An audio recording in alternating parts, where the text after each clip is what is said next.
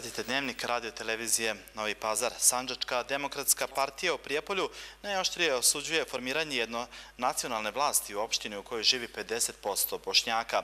Kako se navodi u saopštenju Zindovićeva prevara preko 4000 bošnjaka koji su glasali za listu Aleksandra Vučića je pitanje političkog morala, ali i stvaranja nepoverenja i jaza ne samo između partija, već i između dva naroda, navodi se u saopštenju SDP-a.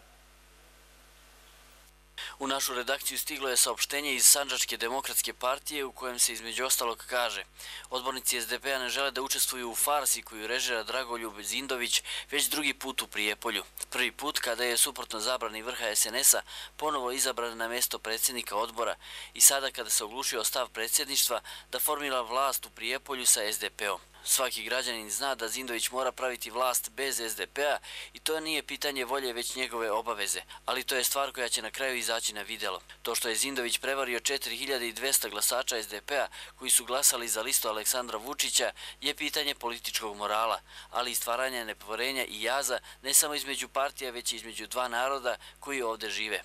Također ne želimo da učestvujemo u stvaranju jednonacionalne skupštinske i izvršne vlasti. Ono što je naumio Zindović nije bilo nikada u Prijepolju, da predsjednik opštine, njegov zamjenik, kao i predsjednik skupštine i njegov zamjenik budu svi iz redova srpskog naroda. Zatim pet od osam članova veća.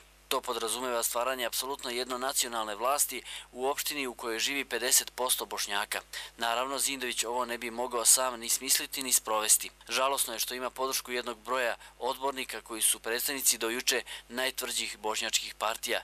Zašto neka je na čast svim odbornicima koji dizanjem ruke podrže ovaj nacionalistički projekat koji je skovan davno, ko zna gde i ko zna u čijim glavama?